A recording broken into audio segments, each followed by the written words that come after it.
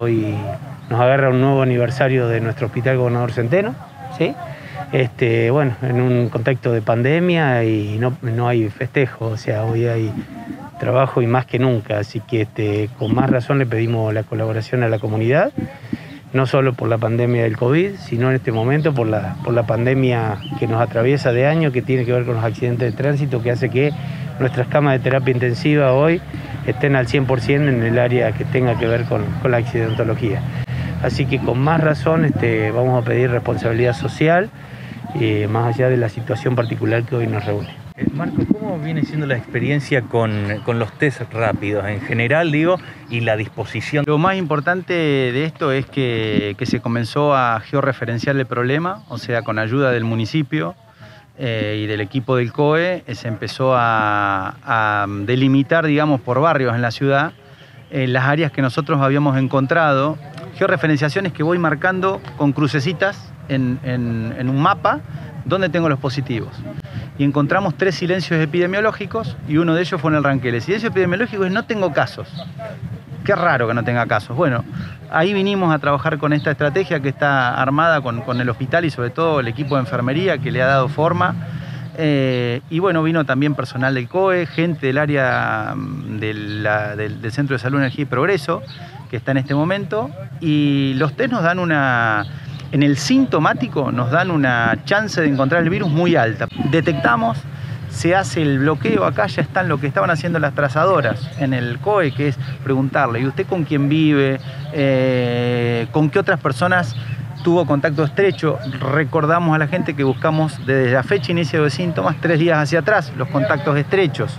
O sea, las personas que hayamos estado a menos de un metro, que hayamos compartido una comida sin elemento de protección personal o que hayamos estado en algún evento sin barbijo, lo que fuera. Dije que tenía un silencio epidemiológico aquí en el, barrio y cuando se llegó y se empezó a buscar, ¿qué fue lo que encontraron en estas primeras búsquedas? ¿Cuántos casos en, particular, por ejemplo? que...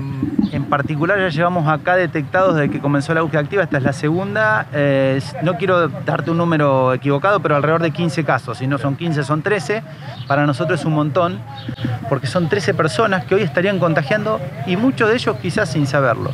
Nosotros con esto lo que permitimos es llegar antes a hacer el bloqueo y que el centro de salud de referencia pueda empezar a tomar contacto con sus vecinos que están enfermos. Hacia el día jueves estamos diagramando una estrategia nueva para los próximos meses, para lo que vendrá. Hasta ahora llamábamos a todos, ¿sí? Vimos el último tiempo que ese llamar a todos empezaba a ser cada vez más largo, no podíamos llamar a todos, entonces el gobierno trabajó mucho en una aplicación que se llama Control Salud.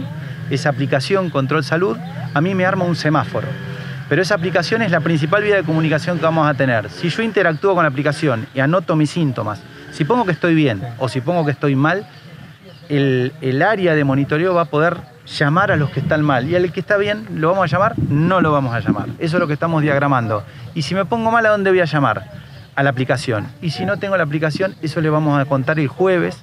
Estamos diagramando cuáles van a ser los nuevos canales de comunicación en esta nueva estrategia, focalizando a los pacientes que tienen realmente problemas, porque muchos lo cursan de una manera muy leve, que son, gracias a Dios, gran parte de la población que se ha enfermado de COVID, y no requieren más que las recomendaciones que le damos al inicio, pero sí requieren el alerta de comunicación. ¿Cuál es la principal causal de los contagios? 90% reuniones sociales, ¿sí? y esas reuniones sociales eh, no por ser reuniones sociales, sino por no seguir los protocolos. Más de 10 personas, en espacios reducidos, compartiendo. A ver, el evento comida es un evento crítico porque si yo me juntara en el patio de mi casa cinco personas y nos sentáramos un metro y medio de distancia, o a dos metros, ¿sí?